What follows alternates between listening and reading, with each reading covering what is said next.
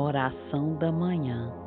Pai, mais um dia que se inicia.